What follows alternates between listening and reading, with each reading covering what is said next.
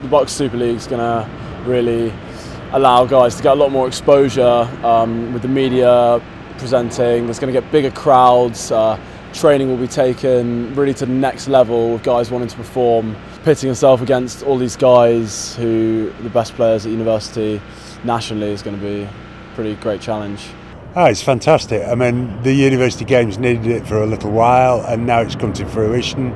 I think it's absolutely great news for the game, great news for University Rugby. Everyone seems like they've got a pretty strong team.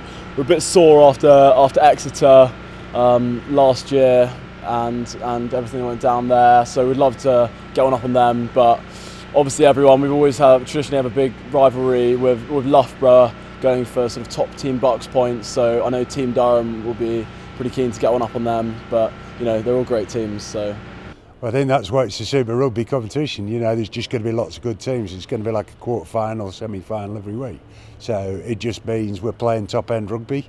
That's where the boys want to be. That's why, not why they've gone to university, but certainly why they've chosen certain universities to play their rugby. I think the RFU doing England students last year, we had a lot of exposure to some of, some of the guys who are really heading the RFU uh, England student rugby experience, and they're all they're all passionate about the student game, and, and I know the RFU are really trying to get behind it as much as they can.